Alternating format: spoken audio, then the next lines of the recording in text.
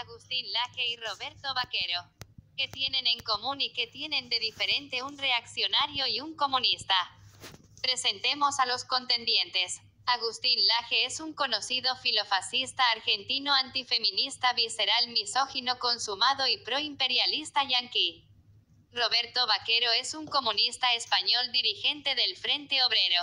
A primera vista se notan amplias diferencias ideológicas que los ubican en polos opuestos de la contradicción.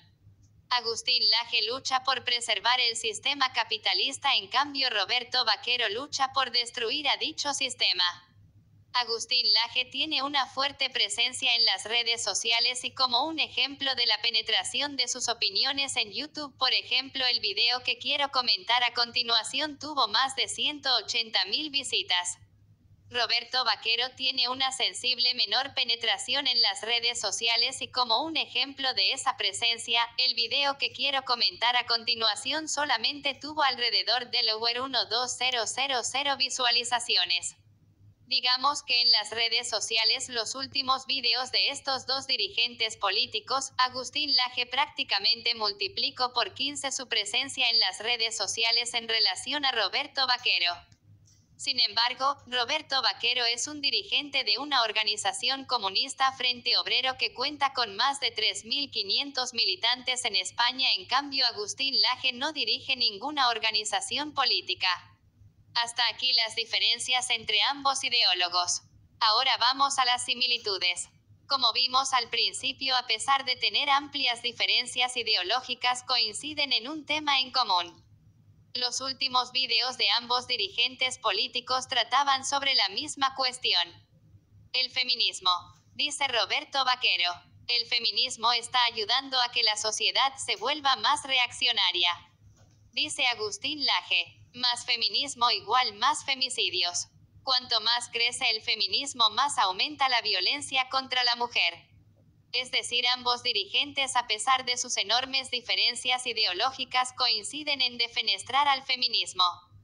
Ambos dirigentes coinciden en que el feminismo es un movimiento de masas perjudicial. ¿Cómo puede ser que a pesar de estar en las antípodas ideológicas coincidan en su apreciación negativa del feminismo?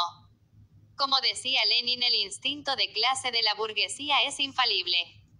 Cuando la burguesía, y Agustín Laje es un dirigente de la misma, atacan a un movimiento de masas como el feminismo, tengan por cierto que ese movimiento es revolucionario. Y si a un movimiento revolucionario un comunista como Roberto Vaquero lo ataca. Evidentemente quien se equivoca es Roberto Vaquero. Dice Roberto Vaquero el feminismo no es revolucionario. A ver Roberto Vaquero si el feminismo no es revolucionario porque el filofascista Agustín Laje dedica el 99% de su tiempo, su energía, sus publicaciones y sus videos en atacarlo salvajemente. Roberto Vaquero y su Frente Obrero hace rato que coincide con filofascistas como Agustín Laje, Armesilla, etc que dicha coincidencia sea un llamado de atención para rever sus posiciones políticas en las cuales ustedes están equivocados. Una de ellas es la postura hacia el feminismo, otra la postura hacia el acuerdo Podemos-PSOE, etc. Espero que apliquen la autocrítica y corrijan su camino hacia el verdadero camino revolucionario. Venceremos.